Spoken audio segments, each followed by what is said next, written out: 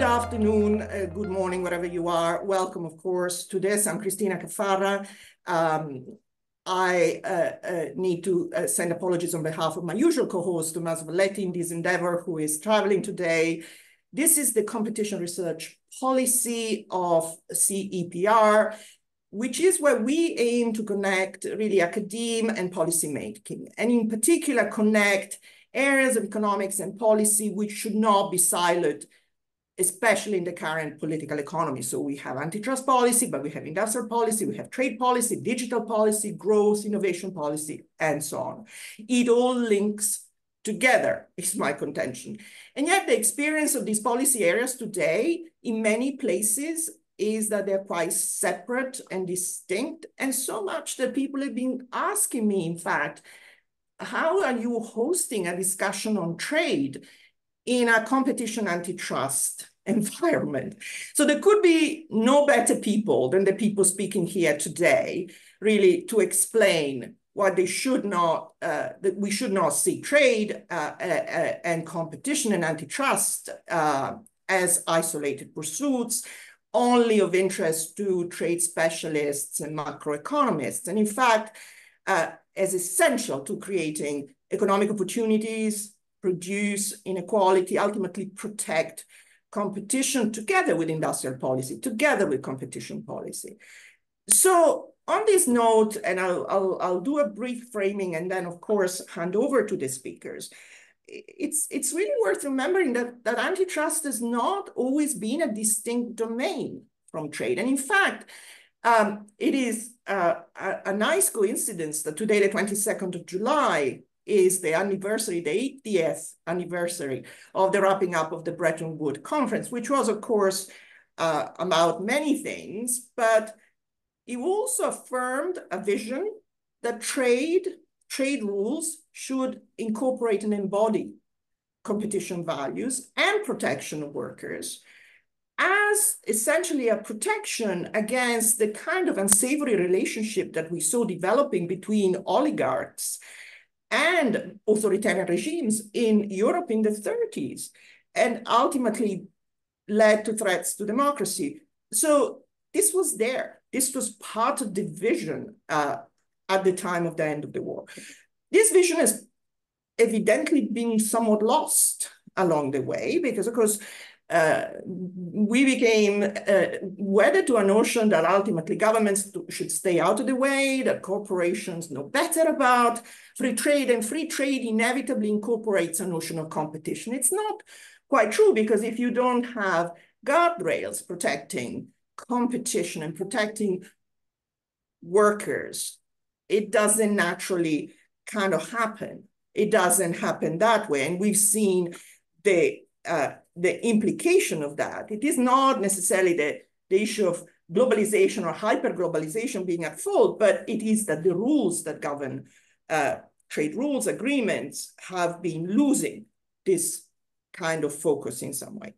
So getting to our speakers now, trade is trying to imagine, to figure out what should be the next world order a different version of globalization. We are in a global world, will remain a global world, but we need a different vision for it, one in which we don't really think that cheap consumer goods are the thing we, we all need desperately uh, to the exclusion of everything else.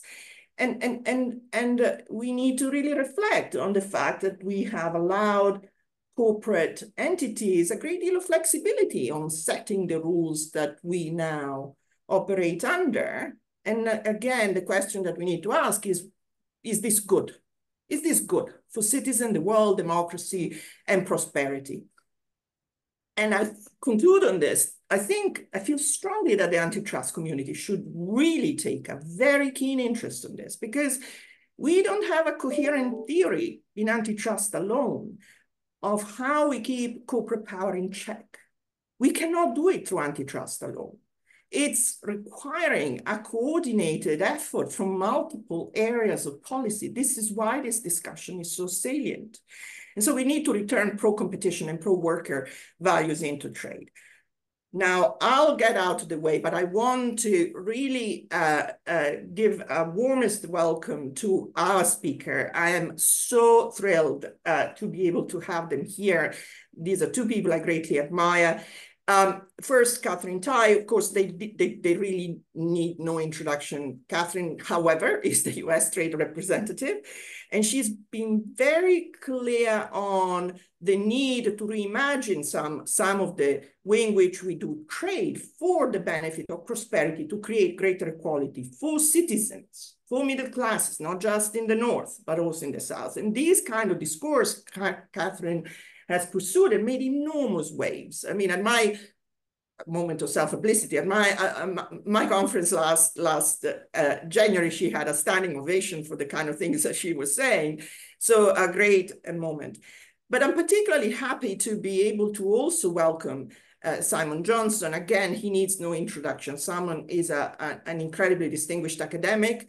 Uh, his latest accomplishment of many is that of course, he's co-authored a book which has been celebrated in multiple languages, has been the focus of much attention, Power and Progress with Daron Acemoglu. And the thing that is remarkable and, and wonderful about that book is the way it tracks the progress of technological progress over, over the centuries and has insights about how we should think about the institutions that allow technological progress to benefit humanity ultimately, not leaving it to itself.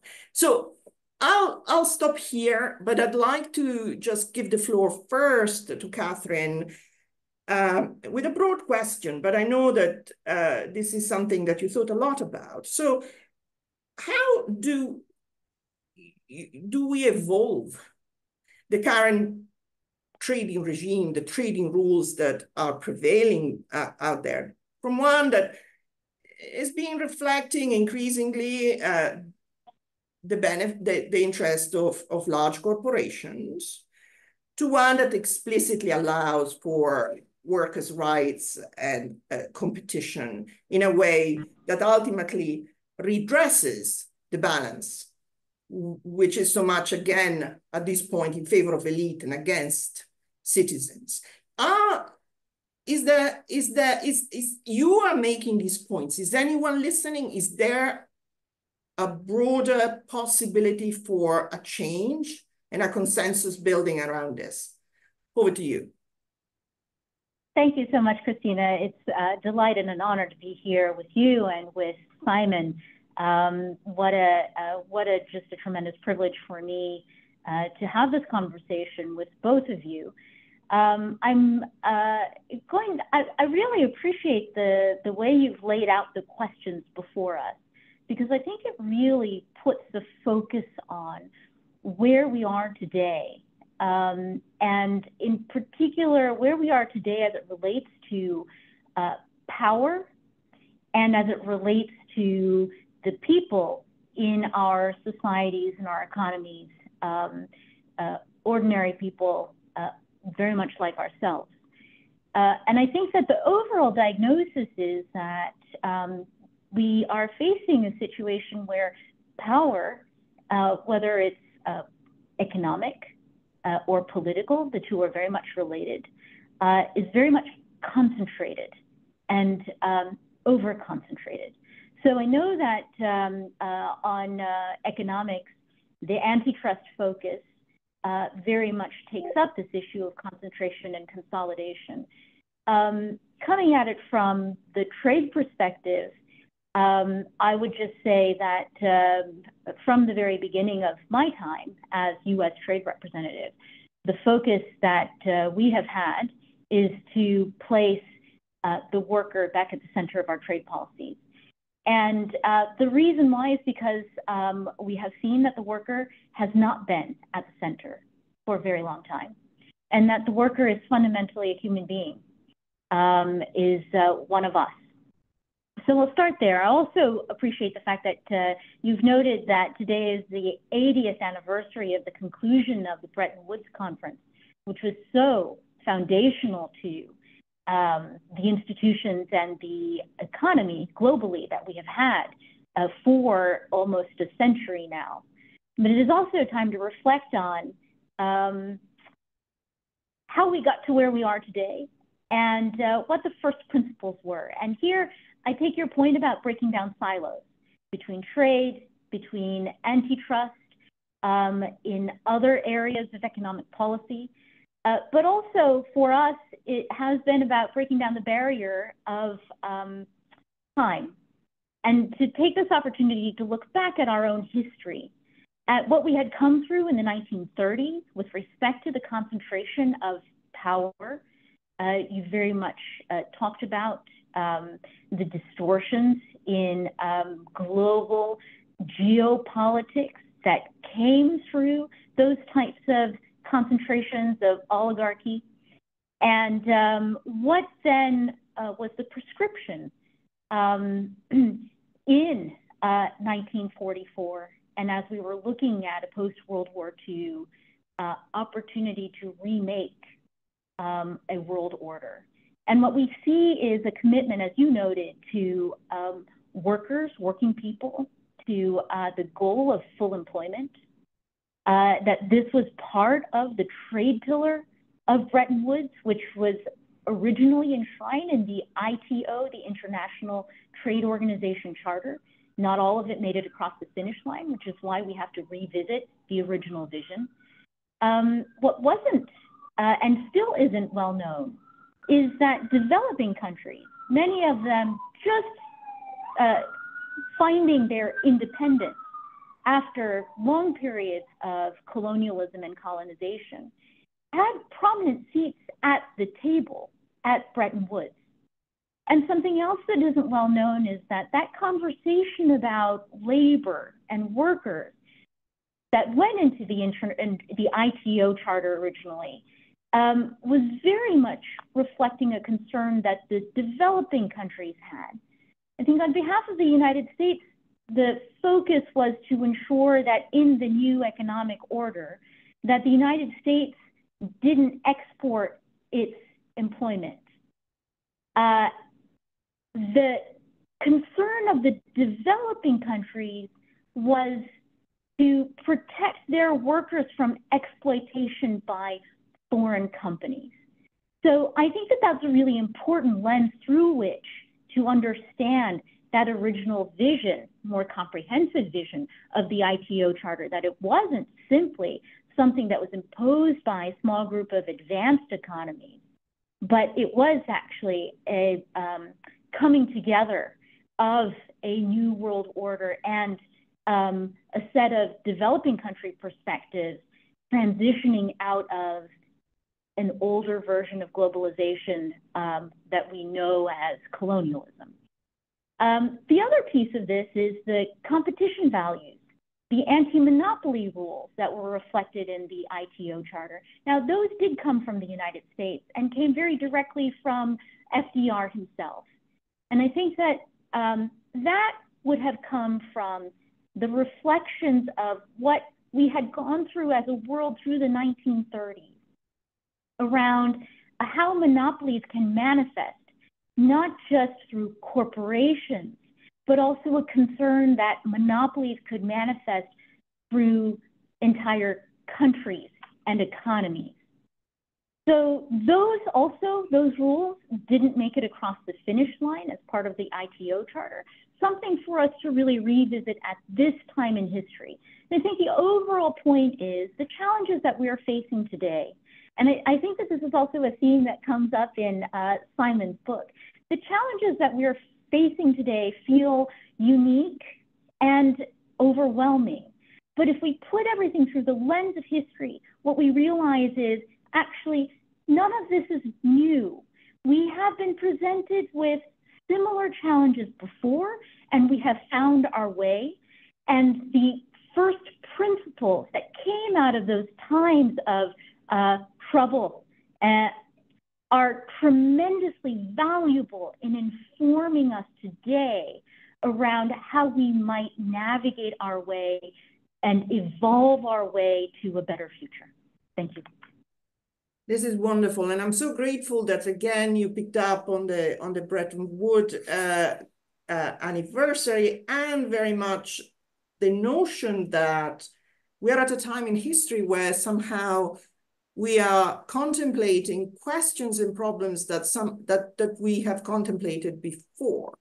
And there was a framing and an attempt to address these problems back then that embodied values and and and visions that somehow have gotten lost in the last 80 years. Now let me let me switch to simon. Simon how did that happen your book, of course, takes a historic perspective on, on uh, technology and evolution of technology, but you also have a focus on, for example, automation as being a major feature of the last 50 years, which has contributed, I, I think, to this loss of focus on these values. Would you elaborate on this? Again, keeping the historical perspective. Yes, absolutely. And, and, and thanks for the starting or framing it in terms of history, uh, Cristina and Katherine. I think that's absolutely spot on. And remember, at, Bretton Woods, there were actually two um, competing visions. One was from the Americans who said, let's have a more open trade system and a post colonial system, as Katherine said. The other was from the British. Uh, Winston Churchill said, let's go back to having a British Empire and, and organizations like that, with trade, of course, running on an imperial basis. Because he had a very different view of the world. And the Americans, to their credit, said, no, we're not going to do that. And, and of course, the other context is that the, American the Roosevelt uh, the administration really wanted the US to stay engaged. They knew, based on the experience after World War One, it would be very easy for the US to retreat from the trading system. Um, and, and, from the world political system. And, and they feared what the consequence of that would be politically, because of what had happened in World War II and in the 30s, but also economically, because of the Great Depression. Um, so I, I, think that the the vision there, Cristina, was was was exactly let's build something for everyone. Let's make a relatively open trading system. Let's make it a rules based system so that even the smallest country knows what the rules are. And, and if a big country bullies them or doesn't follow the rules, they can challenge it. Now, that's not a perfect process, but it's worked out remarkably well. And we can find instances of countries that have benefited greatly from that trading uh, system, including um, most of Western Europe in its reconstruction. Japan, I think, did much better uh, after World War II than it would have done otherwise. And we've had some remarkable success stories of up from the ashes, uh, like, uh, for example, South Korea, which is absolutely based on a free, open trading system, follow the rules, and um, you know, with with, it, with its imperfections, it can deliver prosperity. I think, Christine, though, the, the right question is, and I think this is where you and Katherine are both going, which is sort of where did we go off track? right? And, and, I, and I do think the system worked well for a number of decades. We can argue, was it three or two and a half, whatever. And I think it starts to go off track mostly in the 1970s, and we can, there's various pieces of that.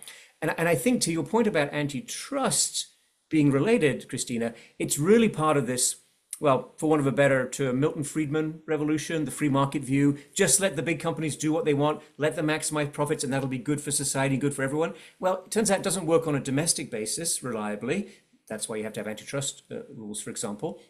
That's why you have to worry about political lobbying. That's why you have to worry about uh, lots of corruption. But it also doesn't work on, a, on an international level. And as, as Katherine said, the worker was central to the initial American vision for Bretton Woods.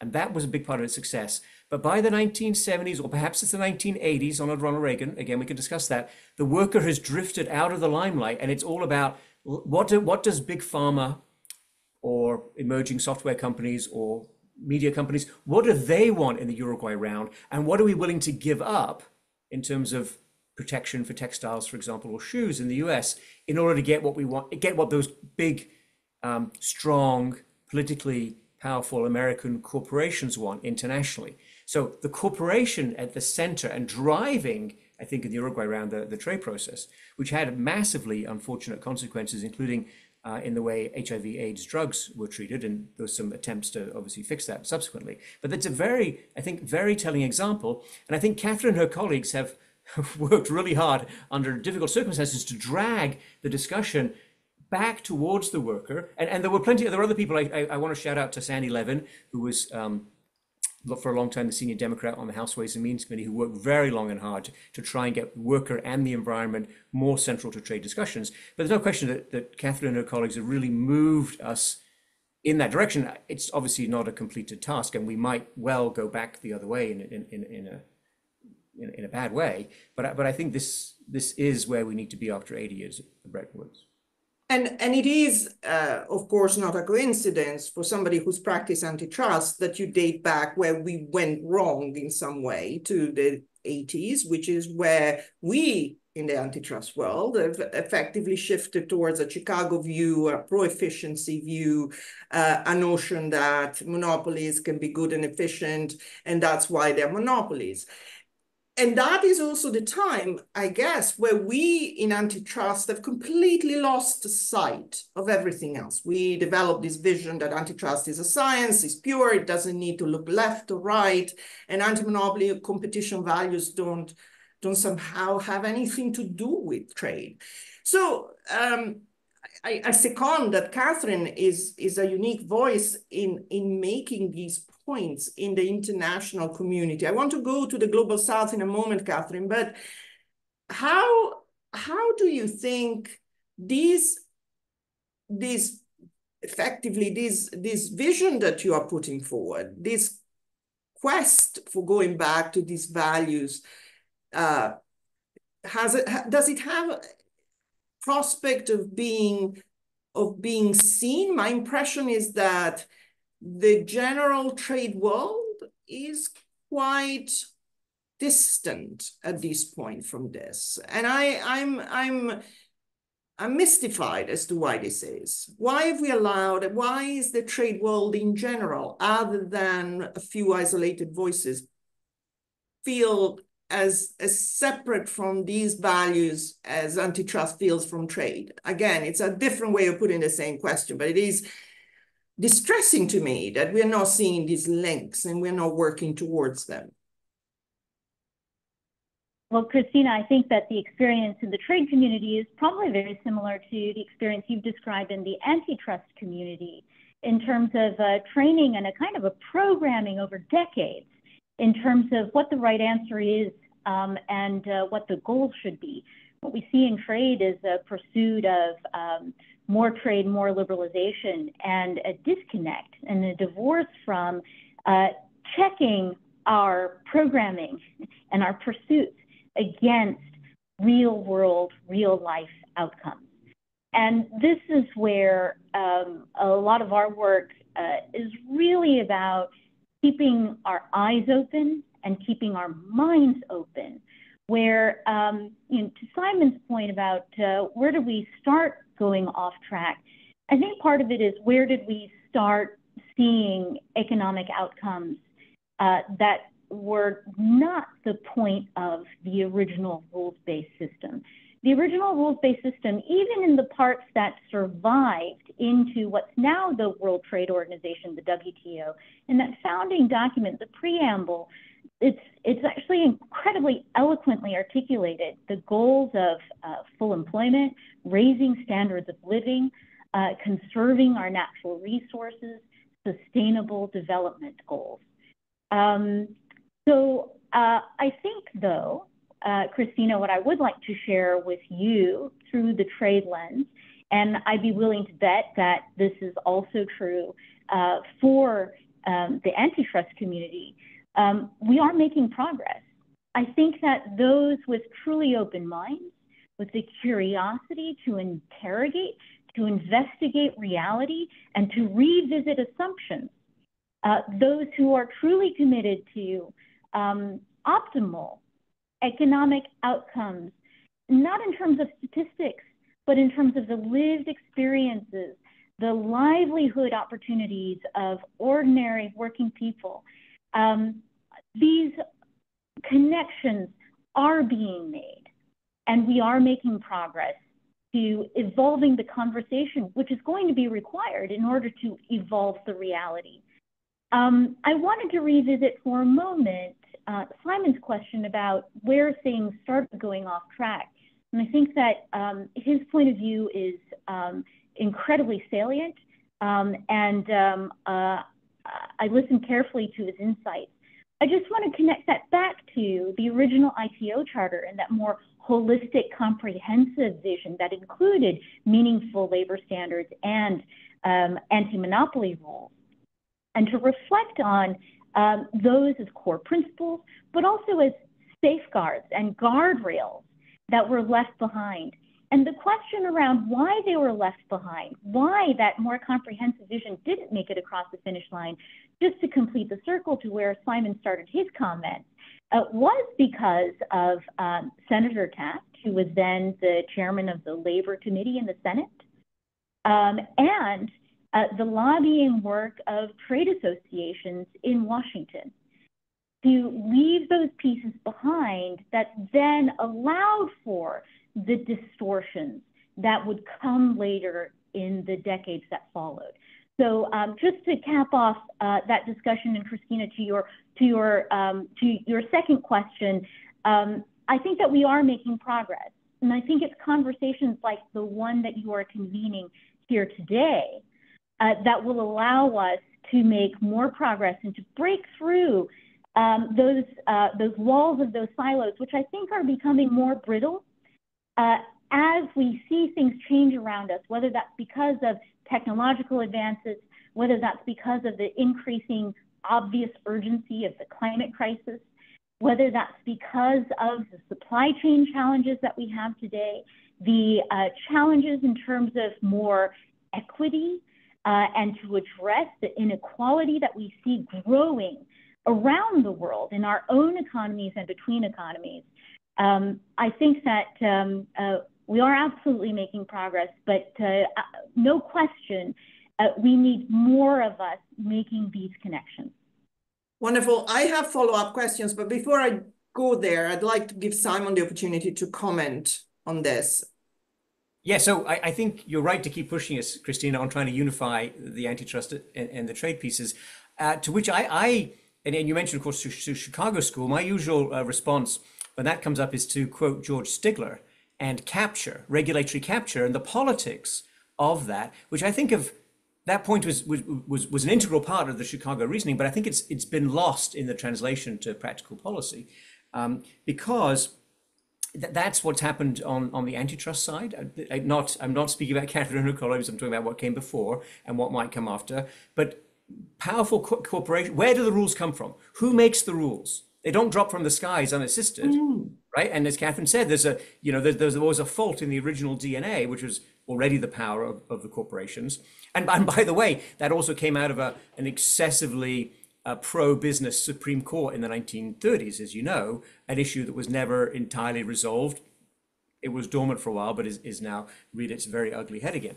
So I think that the, it's the politics, Cristina, and, and many economists even though political economy is a vibrant field with, with a lot of really good research, there are many specialist economists on antitrust, and I'm afraid to say on trade, who say, well, no, no, we're dealing with more technical issues. Politics is something separate. So I think if right. the politics and the political economy of capture and power is exactly what unifies what's gone wrong in those two fields, I, I would say, I would say, Cristina. And and I and I don't need to go go any further than George Stigler and the Chicago School to explain why why that is. And then, but then, and then you've got to think about structural changes like breaking up companies, right? Because you may not be able to regulate them on a, on a regular basis. And of course, if anyone thinks that monopolies are fine and global monopolies are even better, I presume they don't subscribe to uh, CrowdStrike's uh, computer services. the dangers of monoculture, Cristina. Of course, just, in, in, in the digital age yeah, they've just slapped us in the face once again. And these slaps in the face, just like with financial crises, slaps in the face from systemic risk should not be ignored.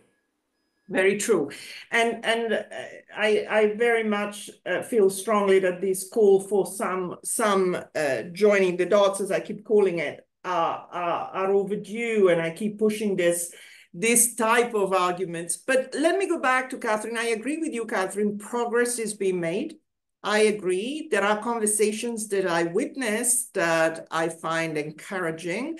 What I found particularly uh, elating, and a lot of people did in the room, was when, when, when again at my conference in January, you were talking about how your vision for how to return trade to certain uh, values really was also embracing a vision of how the global South should be seen in this as a partner. And at the beginning of your comments, you talked about, again, the Bretton Woods and talked briefly about how some of the drivers there came from not the global north, but uh, developing countries. So what I've witnessed uh, quite a bit is you talk about how what you uh, would like to see is, is, is, is policy that ultimately is, is benign and beneficial to not just uh, the middle classes and uh, the global north, what you call uh, the, the sort of the, from the middle out, but also has the same benefits to developing countries. And at my conference, you were speaking to the chief economist of the of the South African Competition Commission, who was emphatically agreeing that this kind of focus on what works for the global South is so overdue.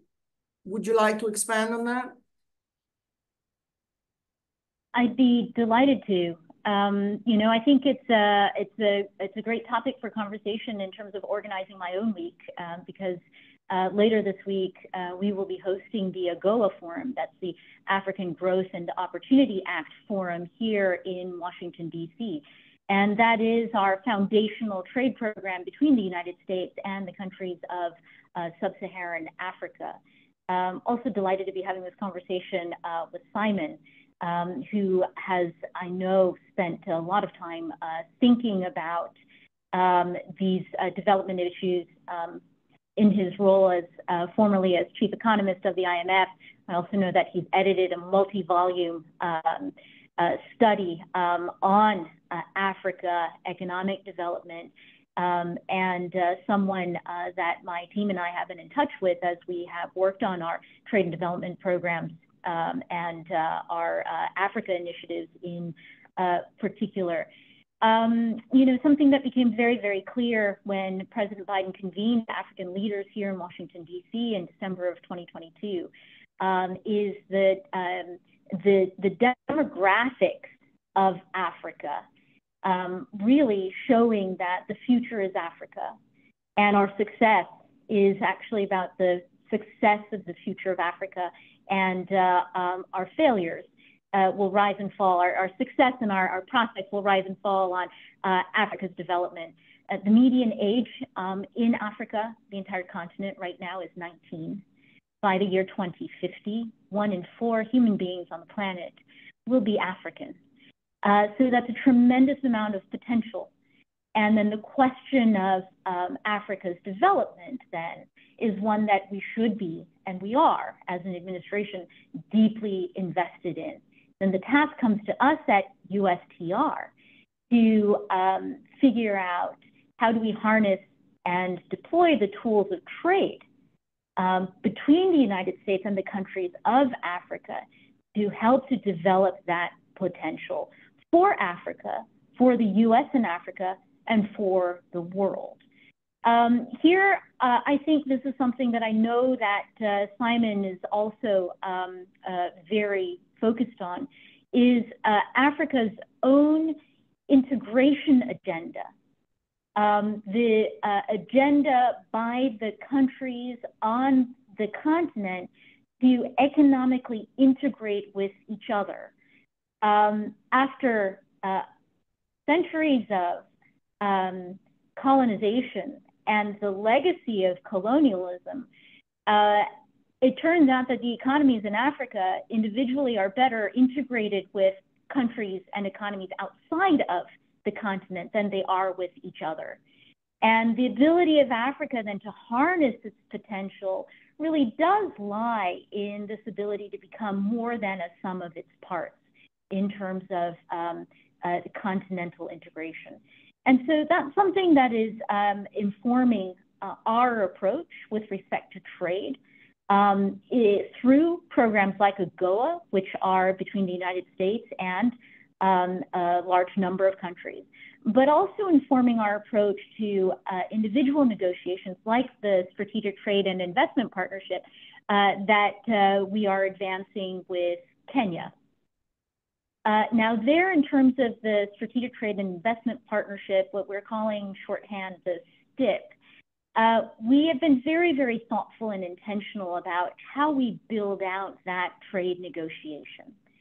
Uh, we are, in, across all of our trade initiatives, trying to tailor our engagement and our negotiations to the particular partner, to the particular relationship, and in the context of the region and um, uh, the the partner and um, uh, its region's uh, aspirations and challenges.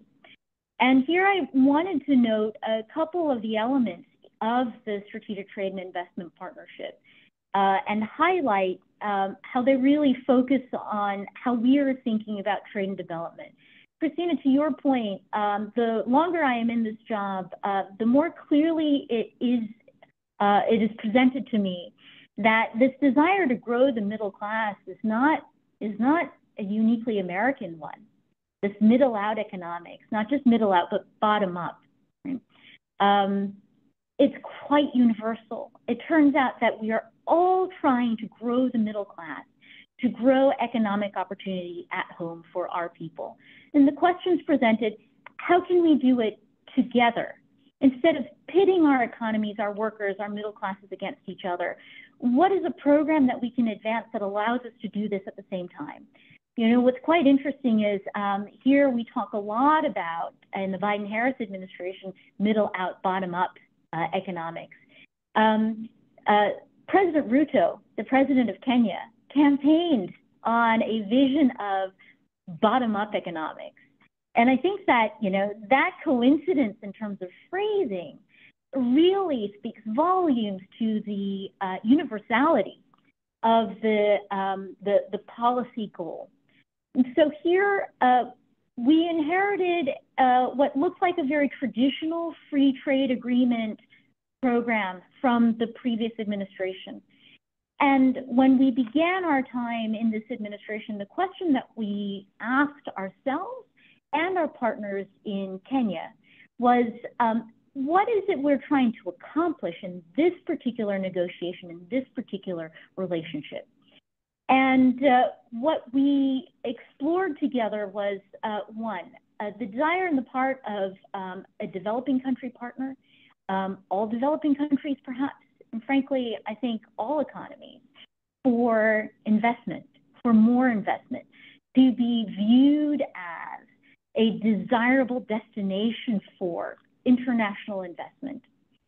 And uh, a second piece of it was the signal of a trade agreement negotiation with the United States, that signal to the market and market participants as a sign of confidence in the economy and its prospects. And then I think there was a third element, which was a desire to be building capacity to take advantage of new economic opportunities at the same time as you are negotiating an initiative.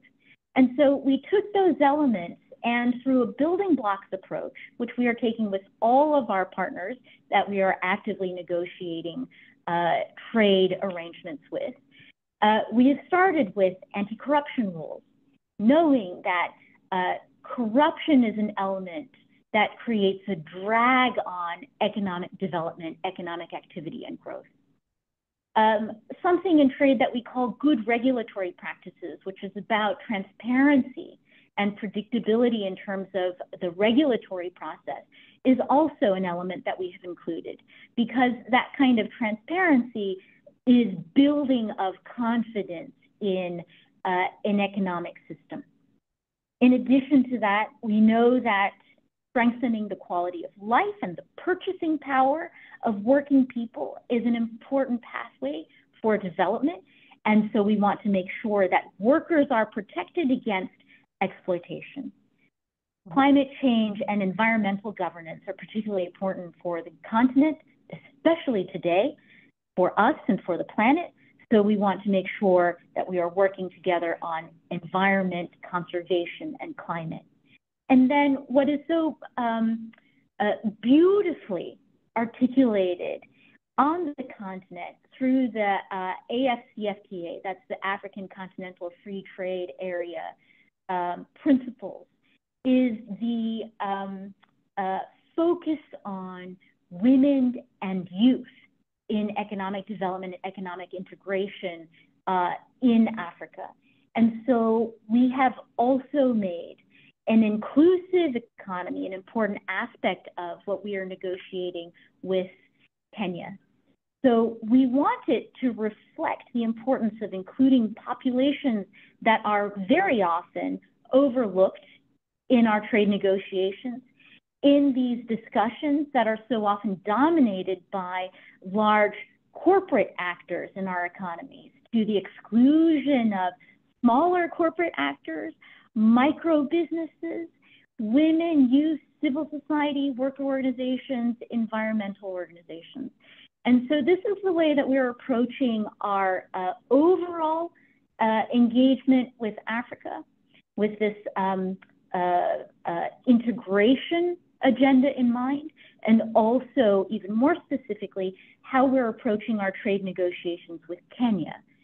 We are tailoring a old one size fits all free trade agreement approach to this particular partner in a building blocks kind of way so that we can ensure that the outcomes of this partnership are hitting the marks in terms of creating more opportunities for more people in Kenya, but also here in the United States. And uh, I'm really anxious to hear um, thoughts from Simon on this topic as well. Yes, over to you, Simon. I mean, this is amazing. There's so much to unpack in there. yeah, there is a lot to unpack. And just to make sure everyone, everyone understands how difficult uh, the job is for, for Katherine and, and her colleagues, let's, I'm afraid we have to mention China and China in Africa, which has had a, a really big impact, both in terms of um, the rise of Chinese manufacturing, which was ultra competitive because of the way they handled the exchange rate for a while, which which took opportunities away from, of course, some parts of the United States, but also from developing countries such as Africa. And then there's the Chinese investment strategy, which has been very focused, of course, on on mineral extraction.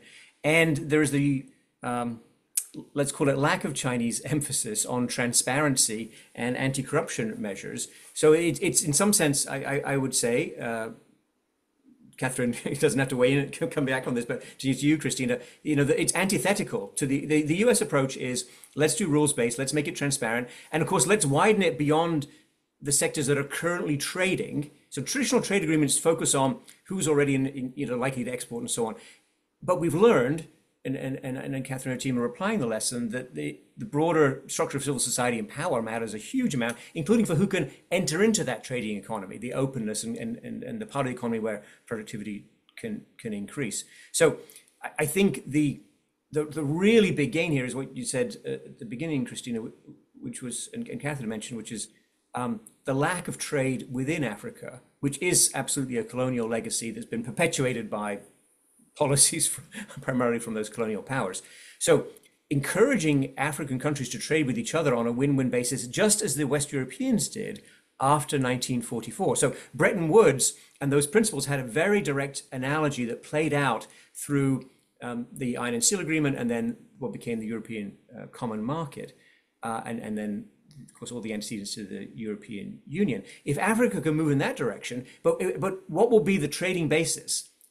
It's much more likely to succeed if they can adopt the kind of principles that, that Katherine was laying out. And you don't expect this to happen overnight. There's always going to be sensitivities about, okay, I'm going to gain this, but you're going to gain more, or some of my industries might lose, and I don't feel good about that. So these things take decades. It took decades in Europe. It took decades uh, when things were going well in, in, in the uh, at the world trading system level. So you expect to take decades in Africa. Uh, China, I think, is a bit of a spoiler uh, in this and, and, and, a, and, a, complication, to be honest, um, particularly because, again, the politics and, and where, the, where the money flows and what the incentives are for the people who rule these countries. But I'm very glad that the Biden Harris administration has taken this on. I think it's long overdue. And I think going beyond traditional one size fits all free trade agreements, just make it go free and the companies will take care of it. Well, that's what got us into trouble. That's what got us all this friction around worker rights, around environmental uh, Im impact, and around everything else we've been talking about today. So let's do something different. And it's more than the work of four years, I think, um, it's, for, it's, for anyone. It's fantastically interested, interesting, but at the same time, there is a perception, again, uh, things are moving in a positive direction, but there is still kind of a lot of uh, concern that things are moving in a more protectionist way, that the future is going to look more in, as, as trade barriers. And why do we see this contradiction still being put uh, forward. You know, the US is is is saying things, but at the same time, it's becoming more protectionist. Isn't that a narrative we hear a lot about? there are many narratives out there, Christine. Look, I think that the the the, the if, if I if I if I can have the temerity to summarize the Biden-Harris broad policy on this, and Katherine can correct me, I I I really dispute that that what they the, the policy they've proposed or followed including, for example, as articulated through the Chips and Science Act or even the Inflation Reduction Act. I really contest that that's essentially protectionist.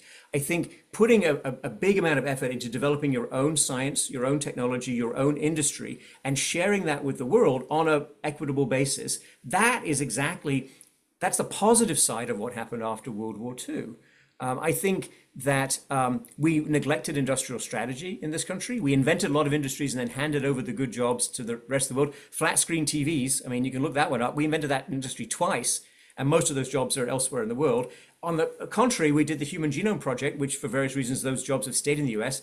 That was a big federal government investment, a lot of risk, if you like, generates an industry that creates 300,000 jobs and, and produced, gave you things like an effective COVID vaccine. So I think the US regaining its vision of technological leadership is not protectionist, particularly when accompanied by and, and emphasized by Katherine and, and, her colleagues' policy, the USTR. I think agreeing to trade with people on, on a rules basis, rules uh, on a rules in a rules based system where you're allowing opportunity and entry, right? So here's your competition point, Cristina. Katherine said we, they, they, they want to get um, all these overlooked people into that system because if they're in that system on a rules-based uh, following the rules-based principles, they're not they're less likely to be exploited. They're more likely to get an improvement in their standard of living, and there's less likely to be environmental damage and, and, other negative spillovers. So I think that's a very coherent vision. I don't think that's protectionist, Cristina. I think that's leading with your strengths and encouraging other people to trade with you on a win-win basis. That's what we did successfully for three decades after World War II, and we stopped doing that after the 1970s and 80s. And I, I'm very grateful to Katherine and her colleagues for bringing us back Wonderful. towards that direction. Wonderful. This is exactly uh, what I was hoping you'd say because I think I think uh, I, I share that view, but it needs to be articulated in in that way.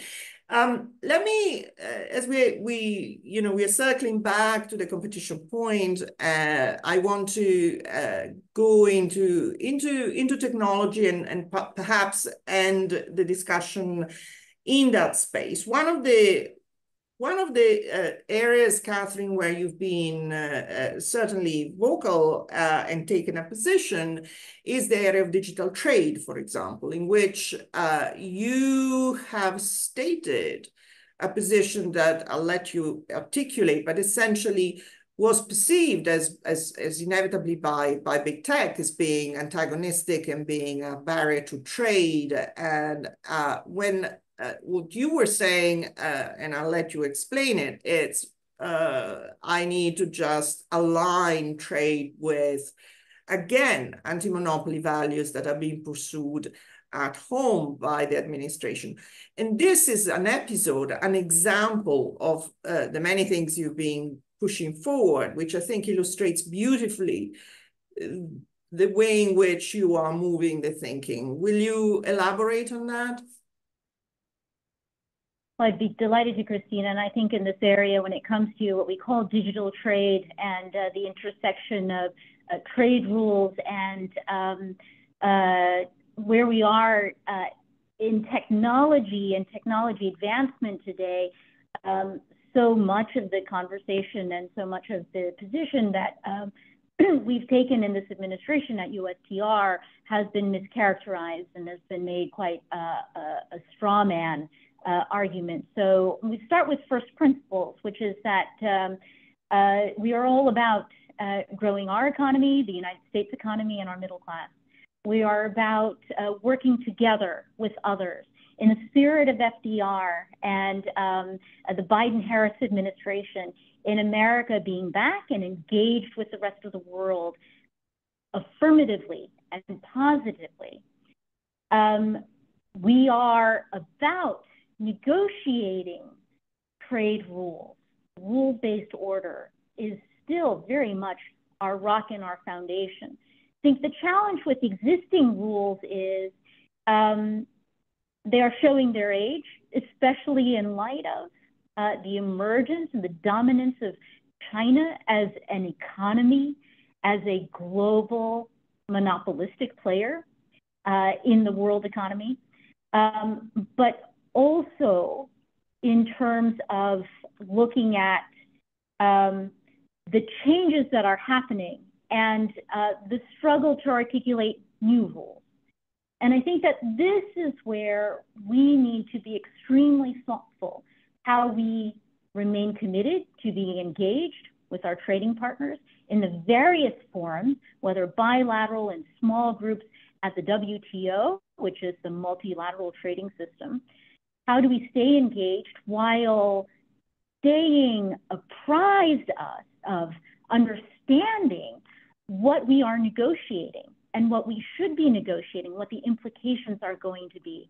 And I think that here is where I really want to take the pause to say that in our digital trade negotiations, what I have encountered is very, very strong programming around a liberalization program that is being analogized in the technology area, especially with respect to the um, issue of data, which it turns out is not just some kind of lubricant for allowing for traditional global goods transactions, but has become the game itself.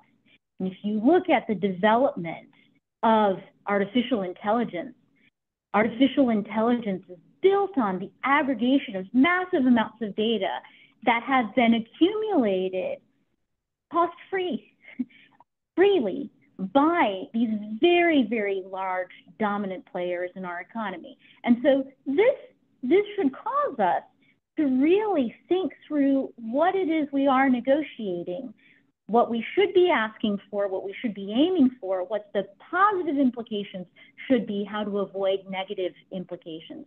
And I think on this one in particular, what I really want to emphasize to think is a value that really comes out in Simon's work and is a large part of our conversation today is bringing it all back to the human being, to our people, and ensuring that um, the power to make choices as workers, as consumers, um, uh, as uh, people in a democracy uh, is retained by our fellow citizens in our societies. And so um, I wanted to highlight just a couple elements in terms of the AI conversation. First, um, the relevance to the aggregation of data. Um, second, um, the impact on uh, people, uh, the impact on people as creatives and creators. Um, I recently had a conversation with a coalition of uh, creators and workers in the creative industries, really sounding the alarm that there are AI international conversations and uh, arrangements that are being shaped right now um, without due respect to copyright and the rights of creators. And uh, we just take a look around us in terms of the um, the legal landscape here in the United States to um, some very famous uh, actors, um, uh, artists, um, even um, uh, journalism uh, organizations that are seeking compensation from the AI companies for the product of their intellect and creativity that have been um, uh, cannibalized by these AI companies for massive profit. And I, I, think one other strand that I want to pull on here is in terms of the impact of artificial intelligence and um, the human experience is also this issue of algorithms and um, the bias, because the algorithms are created by people, the bias that can be baked into these algorithms that can perpetuate discrimination, inequality, and prejudice. And I think this all goes back to a central theme that as we navigate our way through the transformations that are happening in our economy and the global economy today, that we have to just keep the central focal point of our values and our policy consciousness around the experience of our fellow human beings. Wonderful. Let me hand over to Simon. I know you've uh, thought about AI a lot on the back of the, the insights of your book. And uh, so this is a perfect point for you to jump in, Simon. Go ahead. Well, just very quickly, Cristina, because we're running short on time, but I, I wholeheartedly agree with, with what Katherine said and, and the policies they're pursuing. I think AI is incredibly dangerous if it becomes a monopoly, either in the form of one or two companies, or even one model or one way of thinking. And, and um, the, the the CrowdStrike experience on Friday again, it, it just a, that's just a wake up call to, to what to how this can become global and, and really intensely wrong.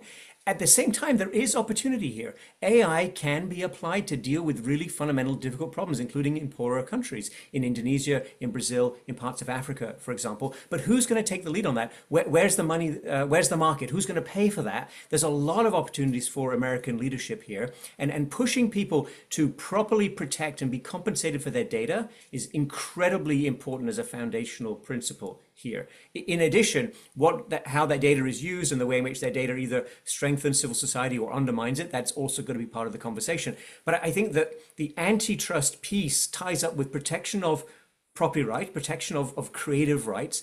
And, and I think people are beginning to wake up to the fact these AI companies have taken too much and have paid too little and faced too too few constraints from society, despite the fact that we're using our data. So embedding this in digital trade uh, now is, is is very far-sighted and, and, and absolutely should be supported. Of course, it's an emergent field. We'll, we'll we'll see what happens, and and I am sure that big tech is fighting you every inch of the way, Katherine. So um, I really hope that, that, that you and your colleagues uh, prevail and, and make that progress, and and that we all learn these lessons. That back to the antitrust point, if anybody gets too powerful in in our economy, Cristina, it's damaging for us as consumers, that traditional antitrust as it played out past 100 years. It's damaging for us as taxpayers, it turns out, because they rip us off in various other ways.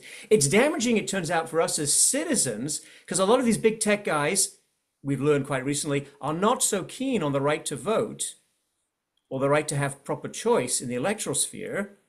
Uh, that would not be a shock to Teddy Roosevelt, by the way. He saw the anti, he saw the the robber barons for what they were in democratic senses. But again, antitrust drifted a little bit away from that. So it's incredibly dangerous to let billionaires of any kind become too powerful. But the tech industry and its global reach and the appeal of AI and, and some of the promise of AI and some some of the reality of AI is, is incredibly dangerous. But there's also promise if we can get it into a rules-based framework and if we can uh, agree on that between um, willing partners of trade. Wonderful. What a wonderful sort of note to end on. I think, as you say, we are exactly at time. I uh, I I I want to just tee up briefly this notion that it is so salient and important that we have these conversations across areas of of of, of policy because uh, we are making progress. It's true, Katherine, and we need to make more in integrating perspectives. The fight against power is not going to be won by antitrust alone. It needs to be fought through other instruments as well. And I plead to the people, uh, the hundreds of people listening today, not to just silo on one discipline. But let me just uh, end by saying I'm aware that there were many questions in the chat that I won't have time to go through. Many were uh, questions that are difficult to answer, such as what will happen? We don't know what will happen and what the world will look like in six months. But I'm grateful to the audience, of course, for having engaged and having put uh, those questions. I'll make sure that Simon and Katherine see them. Uh, we don't have time to really uh, go through them. But above all, I want to thank Katherine and Simon for the amazing conversation. This was incredibly elating, and we are so privileged to have you. Uh, thanks again. We are very grateful.